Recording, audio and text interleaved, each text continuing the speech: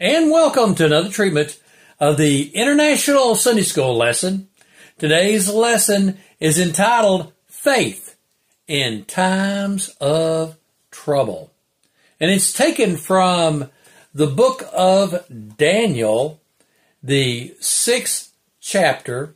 We're going to skip around in some of the verses in there. And it's for February the 18th, 2024, winter quarter lesson number 12. Now, some background information.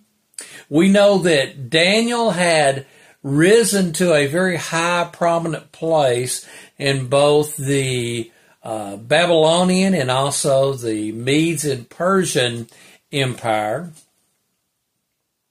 And the first ruler was Darius, and Darius had set up a hierarchy of rulers, and he had like governors, and then he had uh, a group of three people who were overseeing them, and that he was going to select one of those to be above everyone.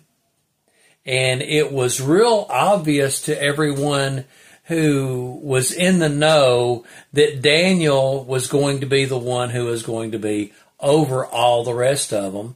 And they were very jealous. The other rulers were very jealous of Daniel. So they began to conspire against Daniel. And they figured out that the only way they could uh, trap Daniel would be by a issue with his belief in God and his worship of God. And they were going to trap Daniel uh, by his belief in God because they talked Darius into issuing a command that you could only make a pleading to one person or one entity in the entire kingdom for a period of about 30 days, and that would be to Darius. And they knew that Daniel prayed to his God three times a day.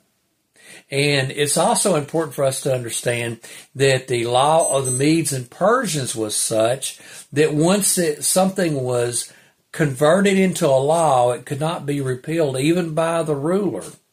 Once it was put in law, it was beyond revoke. And so they talked Darius into issuing this law to where you could only make a pleading to him for a period of time. And they knew that that would trap Daniel, uh, that would trap Daniel. So Daniel went ahead and, and did his prayer and it triggered um, the penalty, which was to be thrown into the lion's den. Now, I want to refer everyone who is interested in about exactly who Darius was. Uh, there's been a lot of debate over this, whether or not Darius actually existed and what have you. Uh, I happen to be of the persuasion that Darius did exist because the first off the Bible says it, and the other thing is that a high number of very prominent scholars who agree that Darius existed.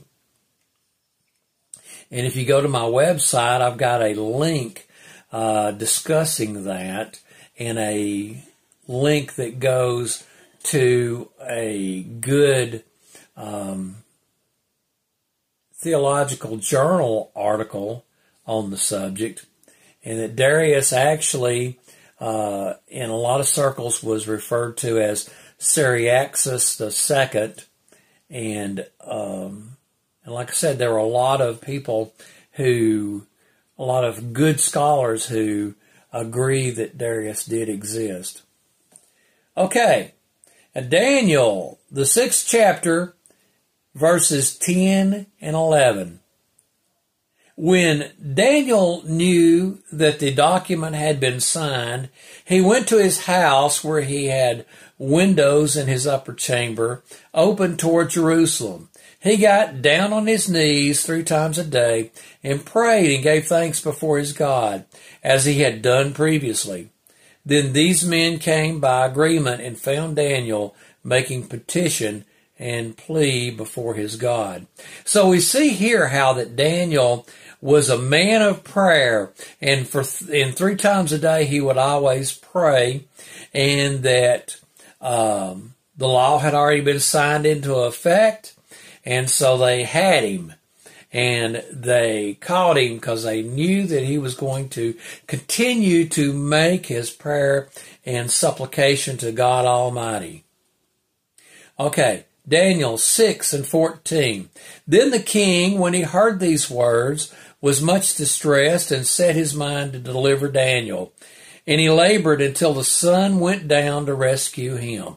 Now we see here how that Darius realized that he had been trapped into this and that it was going to trigger Daniel being thrown into the den of lions. And we see how that Darius tried very, very aggressively to get out of throwing Daniel in the lion's den. But that was not the case. It was going to be because the law of the Medes and Persians was irrevocable, it meant that Daniel was definitely going to be thrown into the lion's den. Daniel 6 and 16. Then the king commanded, and Daniel was brought and cast into the den of lions. And the king declared to Daniel, May your God, whom you serve continually, deliver you. So we see here that how that the king in his well wishing actually really did want Daniel to survive.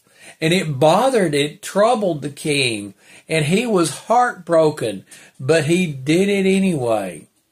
And he was giving Daniel some well wishing. May God deliver you. Okay? Now, Daniel 6, 19 through 23. Then at break of day, when the king arose and went into haste, went in haste to the den of lions, he came near to the den where Daniel was. He cried with a tone of anguish. The king declared to Daniel, O Daniel, servant of the living God, has your God, whom you serve continually, been able to deliver you from the lions? Then Daniel said unto the king, O King, live forever. May God, my God, send his angel and shut the lion's mouth, and they have not harmed me, because I was found blameless before him. And also before you, O king, I have done no harm.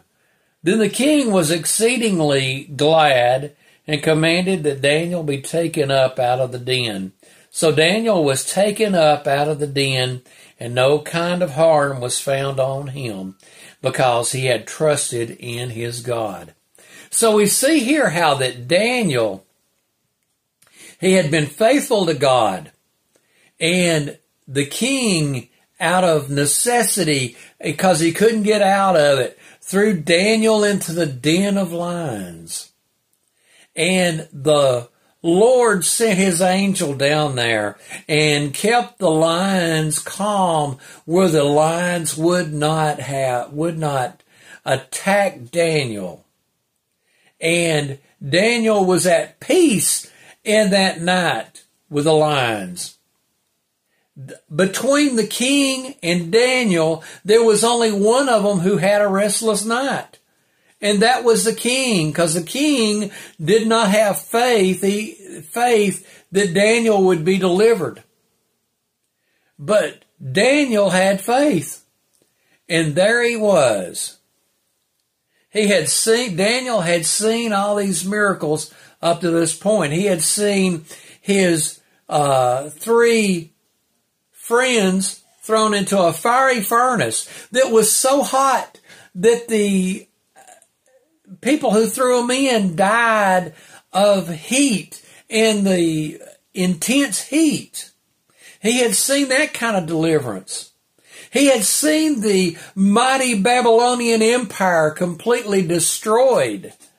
And one night, when the hand wrote on the wall, Mene, mene, you upharsin, you've been found in the balances and found wanting. He had seen all of this.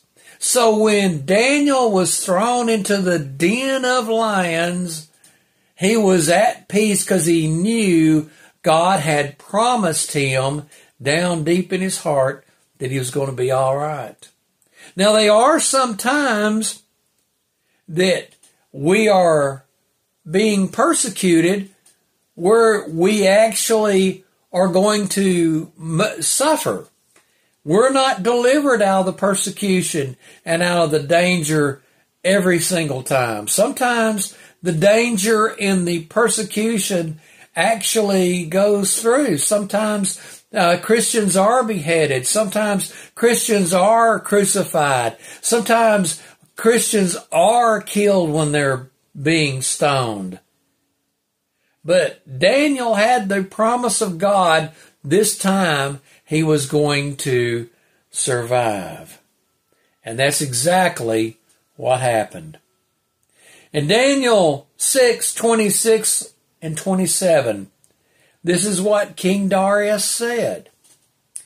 I make a decree that in all my royal dominion people are to tremble and fear before the God of Daniel. For he is the living God, enduring forever. His kingdom shall never be destroyed, and his dominion shall be to the end. He delivers and rescues. He works signs and wonders in heavens, in heaven and on earth he who has saved Daniel from the power of the lions. Now, in other verses in this chapter, we find that the people who conspired against Daniel and set the king up for this, they were then thrown into the lion's den and they were immediately killed by the lions. So we see the contrast between the unbelievers and Daniel, between those who were seeking ill and Daniel.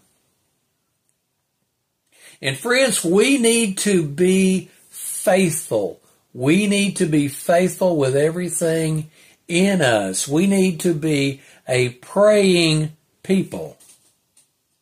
Okay? Now, in conclusion, number one, put your faith and trust in God. Number two, sometimes, sometimes you suffer at the hands of the persecutors, but other times you are delivered.